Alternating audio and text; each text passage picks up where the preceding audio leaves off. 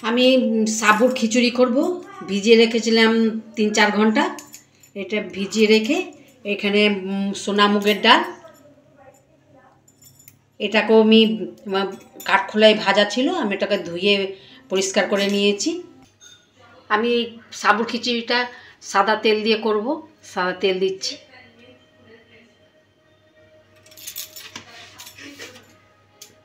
দুটো শুকনো লঙ্কা দিচ্ছি। তেজপাতা দিচ্ছি। তিন চারটা ছোটো এলাচ, দুই টুকরো দারচিনি। এটা গরম হোক।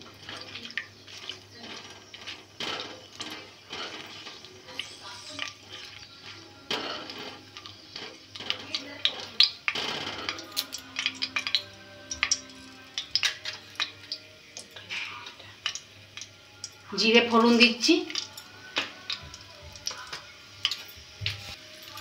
চুটকি হিং দিচ্ছি।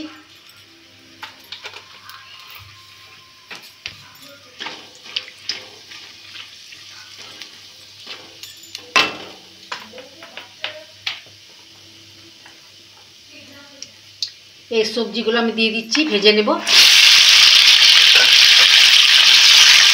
ফুলকপি, আলু, গাজর আর টমেটোটা ভেজে নিব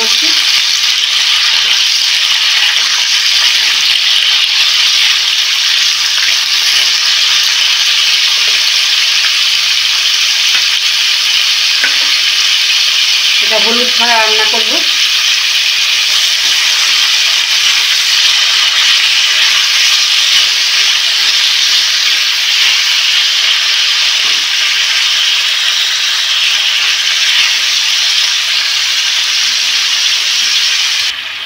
আমি ছন্দ নুন দিয়ে রান্না করছি ছন্দ নুন দিয়ে দিলাম।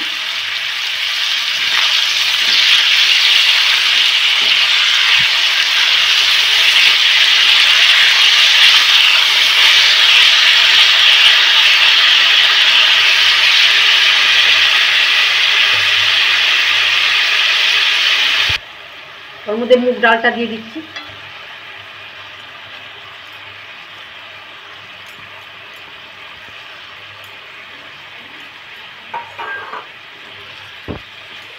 মুগ ডালটা ওর সঙ্গে ভেজে নিব।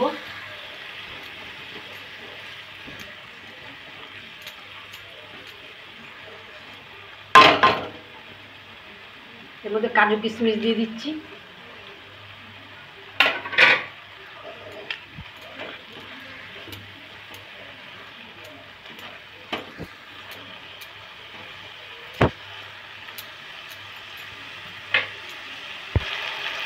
এর মধ্যে এক চামচ আদা বাটা দিচ্ছি। এক চামচ ধনের গুঁড়ো, না, জিরের গুঁড়ো দিচ্ছি। ভালো করে কষাবো।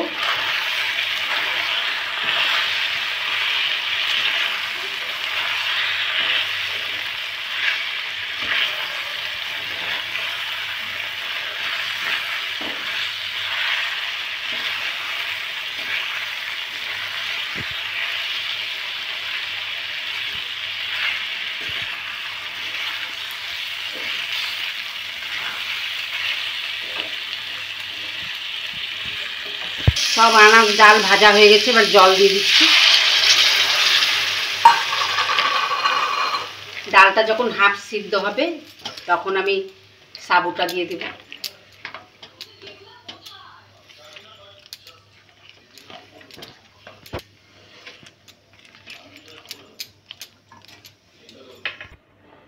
এবার খুন্তিটা ধুয়ে জল দিচ্ছি, আর একটু জল দিলাম। ডাল সেদ্ধ হতে একটু টাইম লাগবে। ডাল, ডালটা ফুটতে দিব। আমি গ্যাসের ইয়েটা ফ্লেমটা হাইয়ে রেখেছি। কয়েকটা লঙ্কা দিয়ে দিচ্ছি, কাঁচা লঙ্কা দিয়ে দিচ্ছি।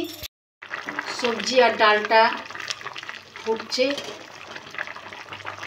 এবার সেদ্ধ আর অপেক্ষায় থাকব।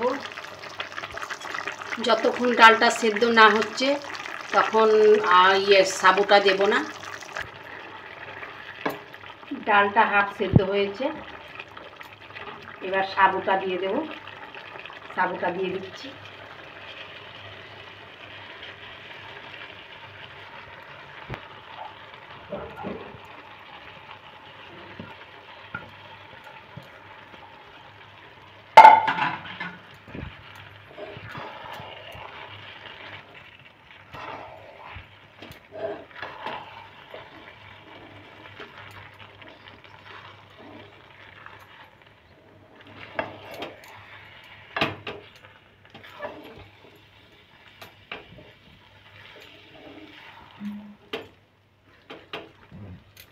যে বাটিতে সাবু ভিজিয়েছিলাম, আমি ততটাই জল দিচ্ছি।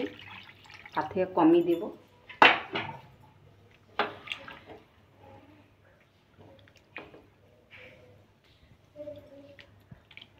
সবজি ভাজা, ভাজার সময় কিছুটা নুন দিয়েছি, এখন পরিমাণ মতন দিচ্ছি।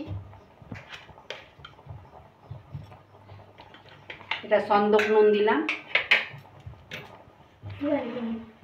এবার আস্তে আস্তে করে নাড়বো না তলায় বসে যাবে।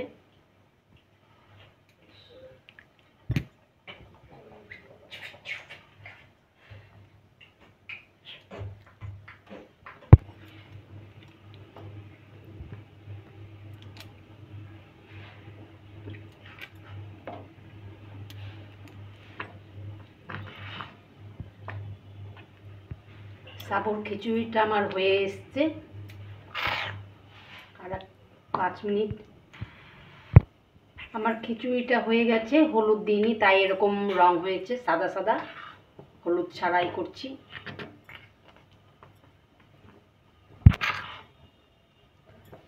আপনারা যে কোনো উপ উপোস করলে খিচুড়ি এইভাবে রান্না করলে খেতে পারবেন।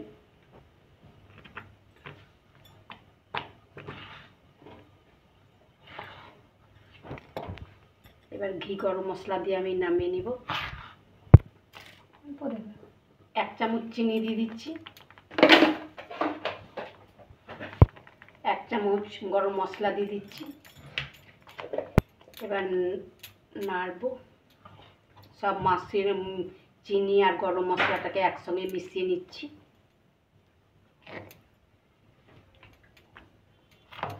চিনিটা দিলাম।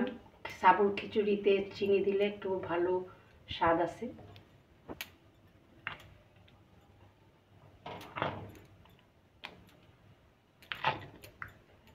এবার ঘি দেব।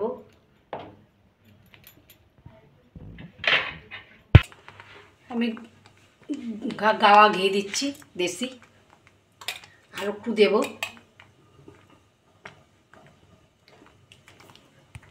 ভালো করে মিশিয়ে নিচ্ছি ঘি।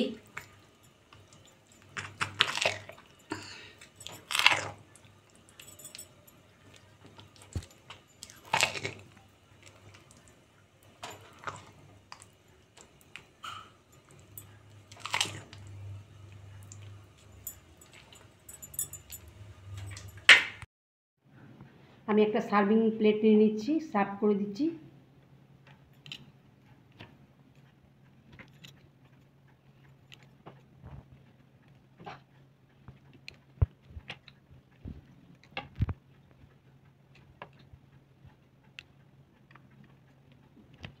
আমার সাবুর খিচুড়ি রেডি হয়ে গেছে। আমার হাতের সাবুর খিচুড়ি, সাদা সাবুর খিচুড়ি যদি ভালো লাগে, তবে আমাকে লাইক শেয়ার কমেন্ট করতে ভুলবেন না। পাশের বেল আইকনটা প্রেস করে অল অপশানে ক্লিক করে দেবেন।